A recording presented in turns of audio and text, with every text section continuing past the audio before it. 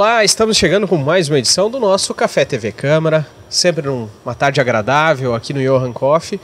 E para você que está se ligando agora na programação da TV Câmara, você pode participar através das nossas redes sociais. Arroba TV Câmara Erechim, nosso endereço no Twitter, e TV Câmara Erechim, o nosso endereço no Facebook. Tudo bem, Camilinha? Tudo bem, Gleison.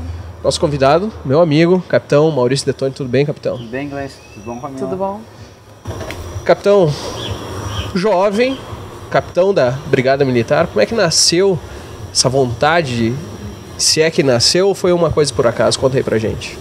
A, o, a intenção de ingressar na, na Brigada Militar, ela surgiu em virtude do meu, meu tio, que trabalha aqui em Erechim, o doutor César Detoni, ele é médico da, da Brigada Militar aqui em Erechim. Eu recém tinha me formado em Direito e estava estudando para concursos. E, eu, e ele falou, olha, tem um concurso para oficial da Brigada Militar e eles estão exigindo nível superior, tem que se formar de bacharel em Direito. E eu estava estudando, e eu resolvi me inscrever, eu estava num ritmo de estudos bons, né? Então Estudou consegui... em Porto Alegre? É, eu fiz a minha faculdade na Unicinos, me formei em 2005 e 2006 foi o concurso. E graças ao estudo consegui passar, né? Fui aprovado. Uh, dois anos de, de ralação na academia, estudos, trabalhos. Como é que funciona isso? A, a Depois academia, que você faz, é, você faz uma prova, né? Inclusive, a gente convida as pessoas, agora está aberto o processo seletivo até o dia 31 de, De mês, janeiro. agora de janeiro, estão abertas as inscrições para o cargo de oficial da Brigada Militar no posto de capitão. Né? Então, uma vez aprovado, nós passamos dois anos na, na Academia de Polícia Militar em Porto Alegre, onde há uma introdução, né? uma, uma introdução do, do aluno oficial na vida militar, né? então na vida de caserna que a gente chama. Então nos primeiros meses são observados uma série de rotinas militares, né? ordem unida, marchar, comando, liderança, né? e posterior são estudadas cadeiras, matérias técnicas e também questões de sociologia, né?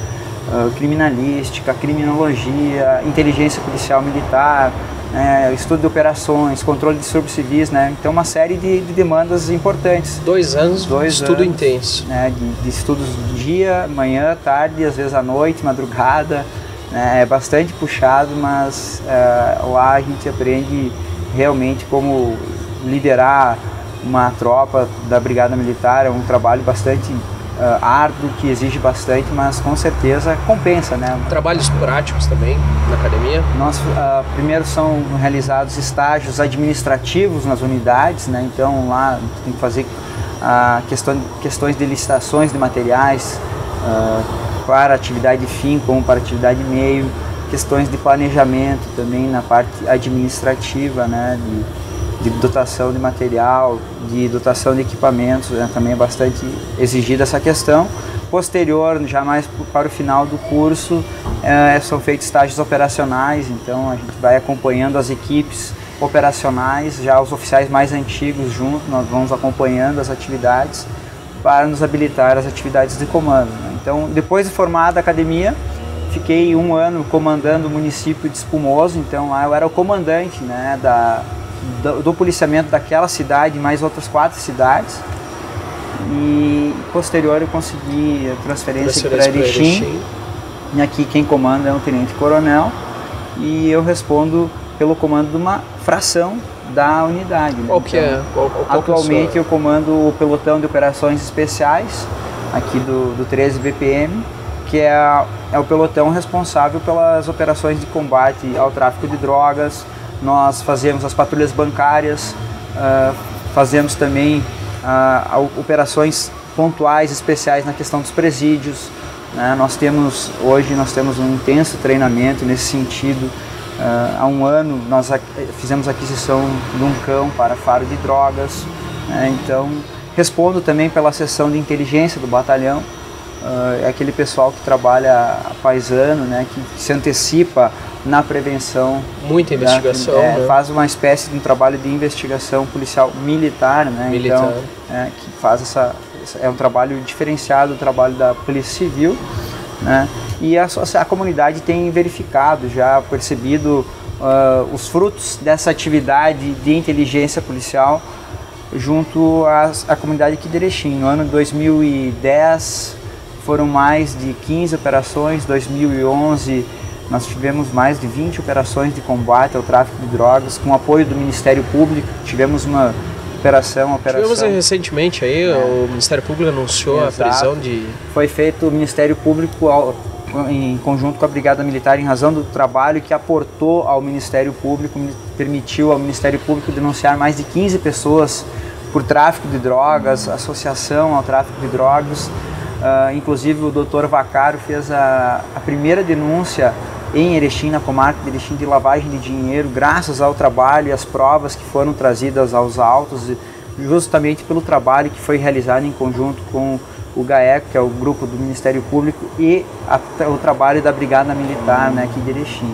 Então, é um trabalho gratificante porque a gente consegue verificar a diminuição de focos de tráfico Exato. de drogas, diminuição da questão de usuários de drogas, principalmente nos bairros, né?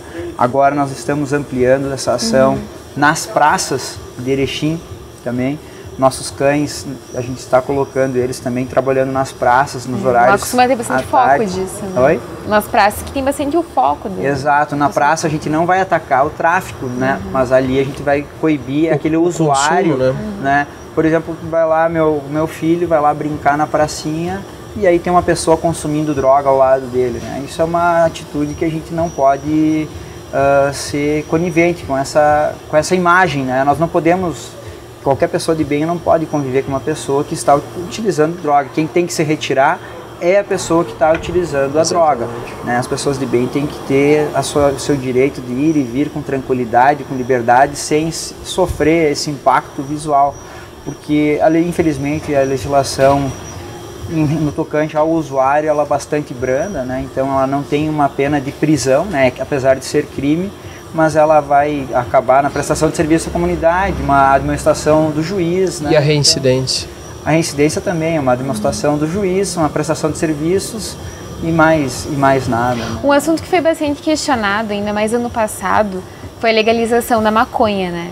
Uh, aqui em Erechim foi questionado esse assunto, aí por vocês que vivenciam com essa questão? Não, nós temos grupos que discutem, todos uhum. nós, os oficiais, nós nos reunimos uh, semanalmente e sempre tem há pautas né, de, de é. discussões, grupos de discussões.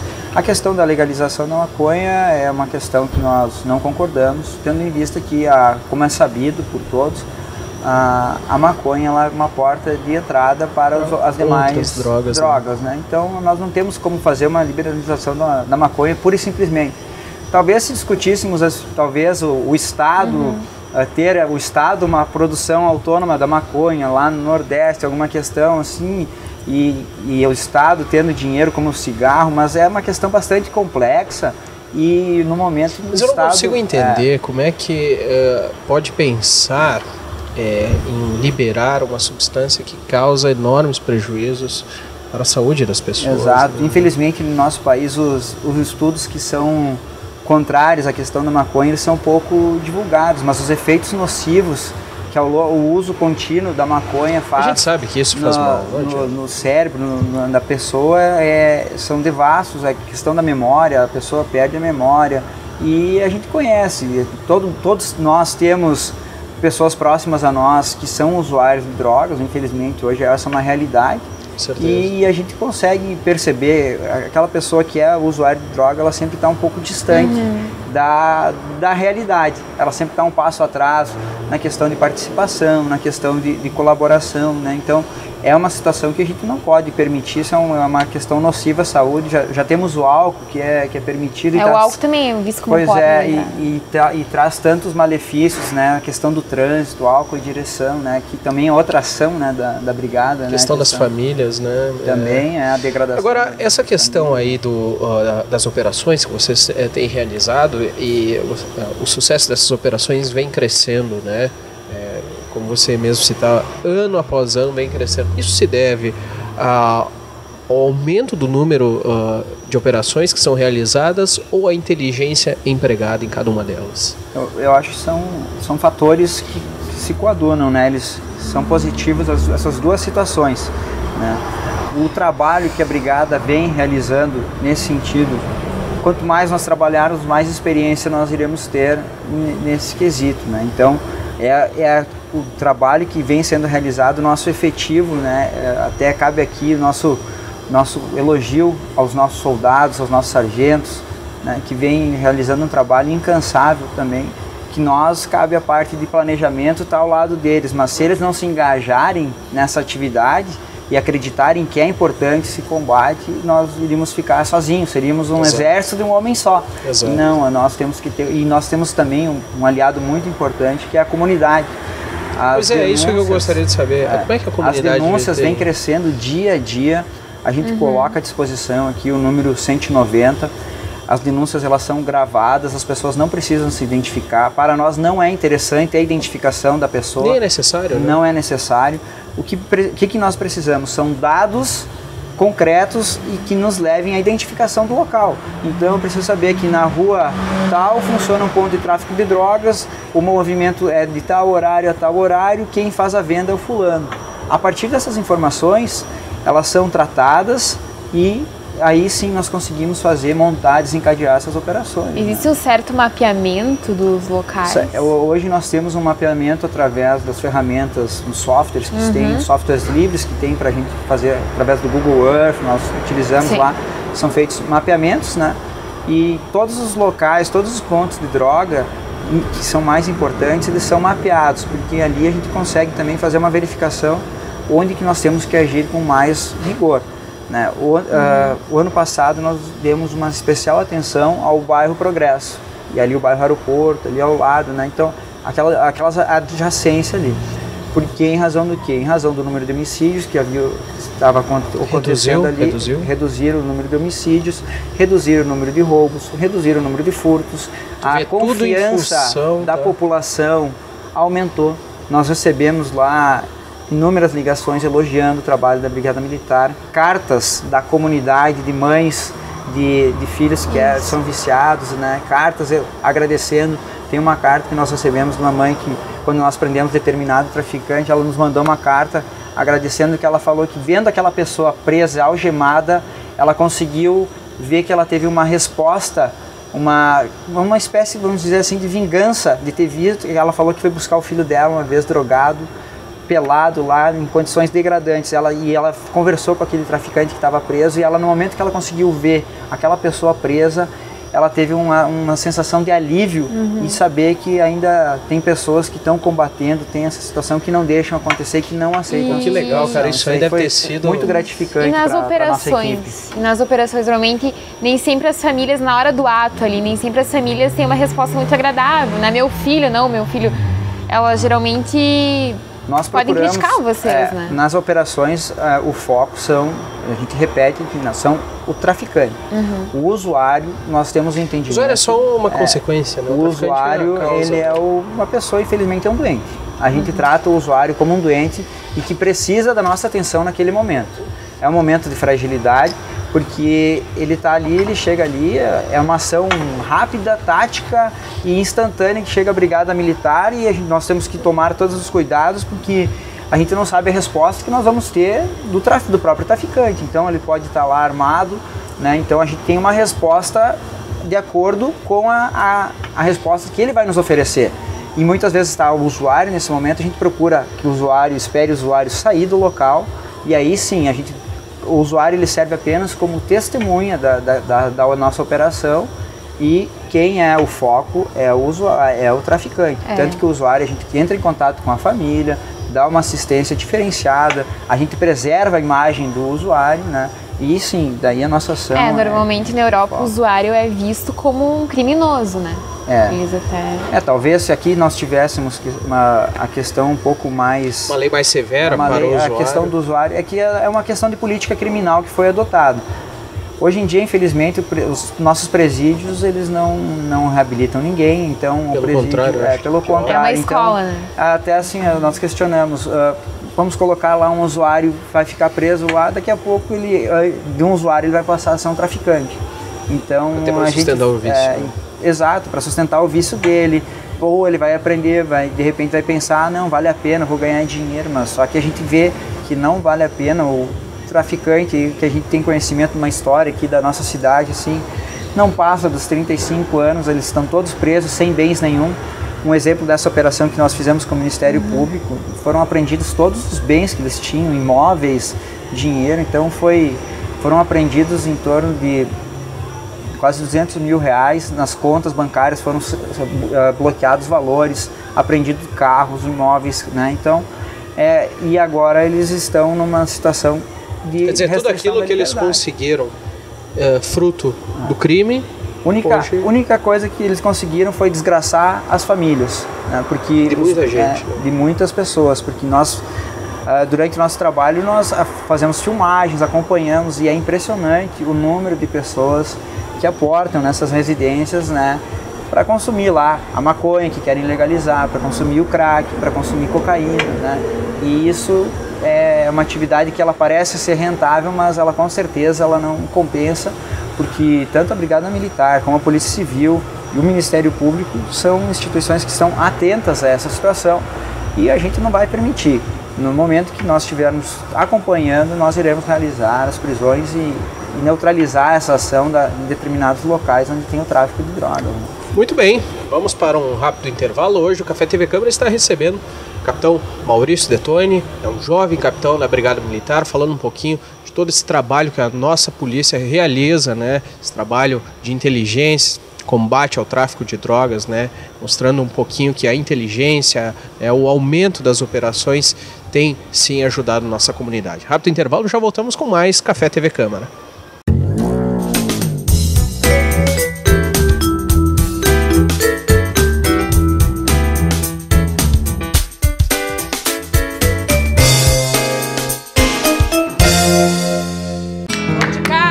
Dona Neide, quando aparece um probleminha de saúde, a senhora faz o quê? Vou pro hospital, ué. Que hospital, dona Neide? Vem cá. Olha como é pertinho. As unidades Oi. básicas de saúde estão preparadas para realizar a maior parte dos atendimentos.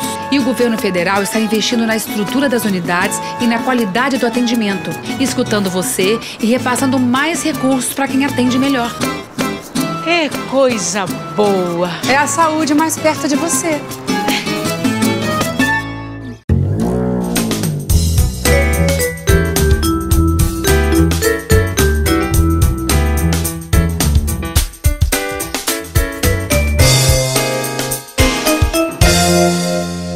Estamos de volta com o nosso Café TV Câmara, hoje recebendo o capitão Maurício Detone. Primeiro bloco falamos um pouquinho sobre essas operações de combate ao tráfico da Brigada Militar aqui de Erechim. Dizer, ah, desde 2010, inúmeras operações, né, inúmeras ações nesse sentido e muitas delas, né, a grande maioria, né, muito êxito e ajudando muito a nossa comunidade. Camilinha, tem uma matéria. Não, vai fugir da drogadição, né? É uma notícia que após o acidente, carro com 610 quilos de maconha encontrado no Rio Grande do Sul, na cidade de Maximiliano de Almeida. Tô sabendo disso? É, foi hoje pela, pela uhum. madrugada, né? Aconteceu esse, em razão da quantidade, né, da elevada quantidade de Os droga. 610 é, quilos. 610 quilos de maconha e mais uh, de 10 quilos, 10 quilos de, de cocaína, cocaína, né? A cocaína ela vem, ela é oriunda do Paraguai, né? A cocaína ela está em torno da comercialização dela assim nessa grande quantidade pelo atacado, ela gira o custo dela de 11 a 13 mil reais, né? E o quilo da maconha fica em torno de mil, mil reais, dois mil reais, né? Então a gente vê a quantidade, né? De cocaína e nós tínhamos em torno de 110 a 150 mil reais de de, de maconha em torno de 600 mil reais. 600 né? mil Inclusive o inspetor Marcelo Alves Farias, ele fala que nem temos gente aqui para consumir tanta droga, que não tem nem 5 mil habitantes, deve ter 5 mil habitantes. É, mas com certeza, né, essa ela droga tem ela não outro era destino. Maximiliano de Almeida, é. né? Essa droga ou ela viria a Erechim, ao Passo Fundo, ou e seguiria pra, provavelmente a Caxias do Sul, né? Essa, essa quantidade de droga, né? Isso é um trabalho, não foi um trabalho de inteligência nem nada da brigada nem da, da polícia civil, mas ela demonstra a, a ousadia do, do tráfico, da pessoa sair de lá de Foz do Iguaçu e chegar aqui procurando vias alternativas que não são as normais de policiamento. Como é que foi pego esse pessoal aí? Foi Ele uma abordagem? Perdeu, não, ele perdeu o controle e acabou. Ah, foi um acidente. é, Foi um acidente. Ele acabou perdendo o controle do veículo em razão da elevada quantidade, provavelmente, porque um Honda Civic, ele, no seu porta-malas, ele suporta 300 a 400 quilos, né? Então tinha droga, inclusive, na, no banco de, de passageiros, ele devia estar em alta velocidade, não conhecia a estrada, acabou se acidentando. Não conseguiram recuperar a droga em razão de que logo chegou um ônibus de excursão para tentar ajudar. Em razão da aglomeração de pessoas, ele acabou, tiveram que fugir do local, né, sem, e perder a droga, né.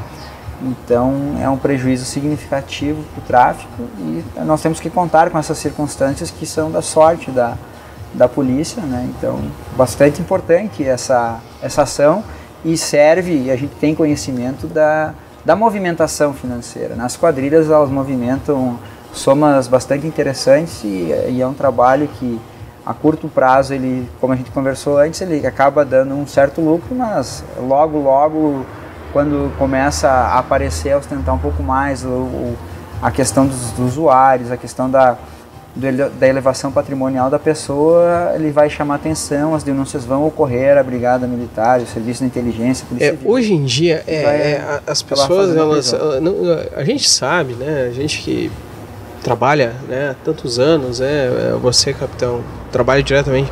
Não existe como uma pessoa ficar rica da noite para o dia, com exceção, acho, da Mega Sena, né? É. Não existe isso, né? É, e isso nós temos a, esse cuidado e a gente vem trabalhando em conjunto com o Ministério Público nesse sentido. Nós acompanhamos certos ramos das atividades e para verificar se não há nenhuma atividade ilícita determinados patrimônios existentes na nossa região a partir de uma constatação de algum indício dessa situação, é montado é, um expediente e dá início a uma investigação.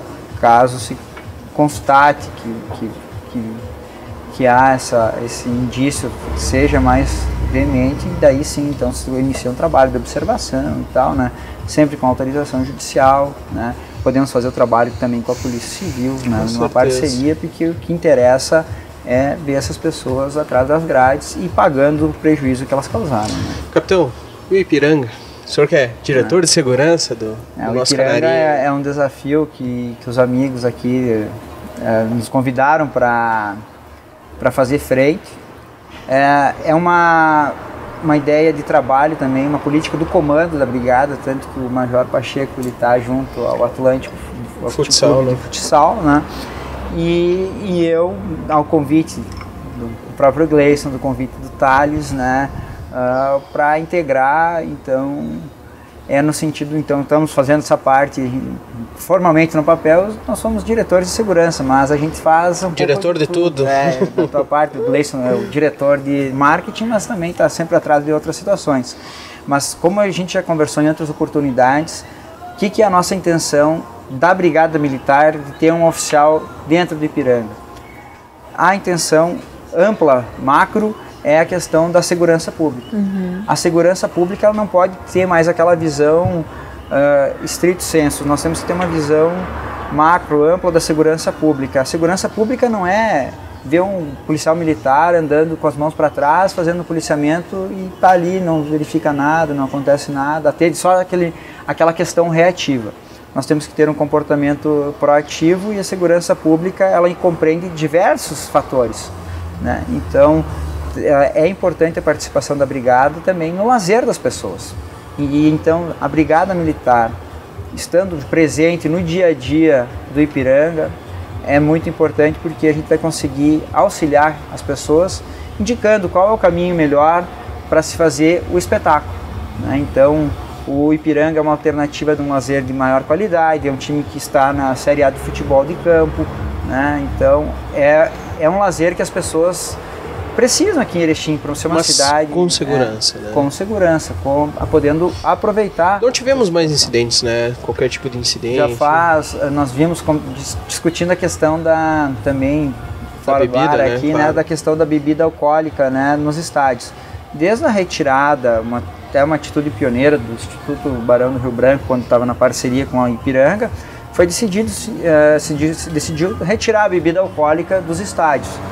E essa foi uma decisão que depois foi implantada em nível estadual posteriormente em nível federal. Hoje tem lei que veda a questão da, da ingestão de bebidas alcoólicas nos gramados e a partir daí, então, são casos pontuais que nós verificamos uh, em nível nacional apenas, porque aqui no estado, exceto o Grêmio e Inter, de vez em quando há uma rixa entre as torcidas organizadas, mas o público comum não tem mais se envolvido. Aqui não, tem, não tivemos, né? Não tivemos, faz tempo que não há registro de ocorrências mais uhum. graves aqui de, nesse sentido. Que bom, e as famílias estão voltando, né? Estão voltando para é, dentro do estádio. Já né? tivemos o primeiro jogo agora contra o Novo Hamburgo, tivemos uma grande presença de mulheres e crianças, né? Então a política também da questão do ingresso família, onde só o homem paga para entrar, então ele vai, as mulheres elas entram, tem a entrada liberada, as crianças a mesmo sentido, então dá um, dá um ar diferente ao espetáculo, fica uma questão mais agradável, mais aprazível,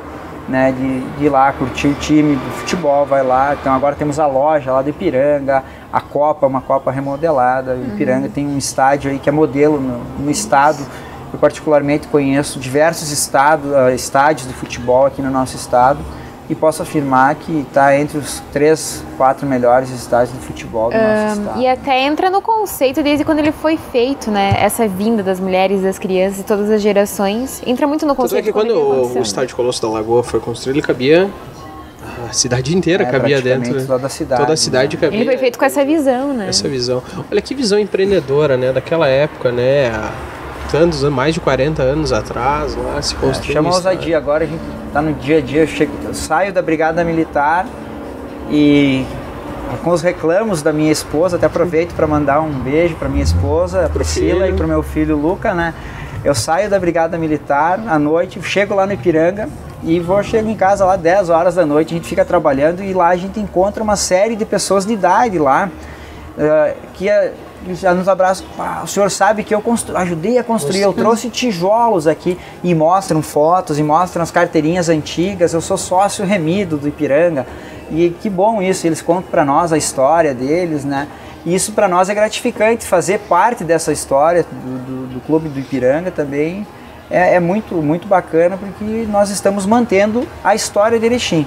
Então a gente convida que as pessoas se engajem nessa, nessa história também, se associando no Ipiranga, contribuindo, os empresários que puderem investir na, no futebol, porque isso é a história de Erechim que está interligada nessa questão. E eu acho bacana, assim, eu vejo lá as pessoas que participam da diretoria, assim, são todas pessoas é, vamos, vamos aproveitar para mandar um abraço para todos os nossos colegas Exato, da diretoria, todas as pessoas lá que voluntariamente vão lá, pessoas que não ganham nada para estar lá, pelo contrário, colocam recursos lá, Perde, né? Perdem dinheiro, com certeza. Né? E a gente investe tempo, dinheiro, mas a gente está lá para tentar dar uma contrapartida também para a sociedade, para tentar dar a nossa contribuição no intuito de promover o lazer, promover o esporte, né?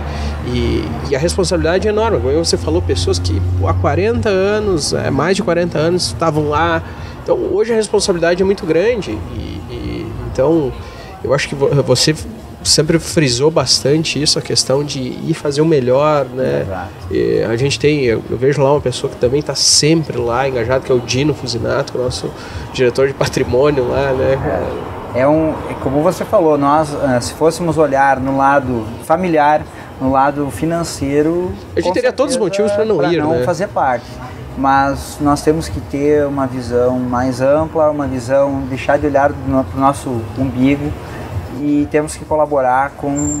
Esse é um trabalho social que a gente faz. Com certeza. É um trabalho social, porque são as pessoas carentes que têm direito a entrar de graça no estádio através do programa que é feito com a prefeitura. São as crianças que vão lá na, participar da escolinha.